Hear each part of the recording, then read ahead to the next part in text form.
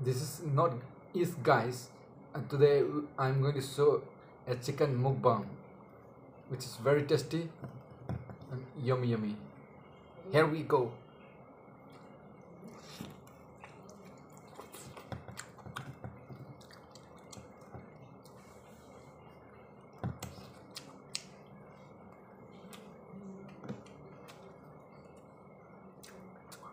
Chili.